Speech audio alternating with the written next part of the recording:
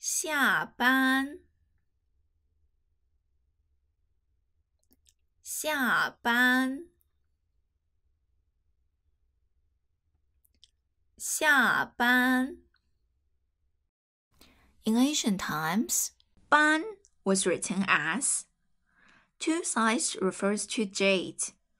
The middle part is an axe, which was used to split the jade to make some accessories. So the original meaning of this character is split. In modern Chinese, ban means class. 下班，下 means low place, ban means class. So 下班 means get off work. 你下班后准备做什么？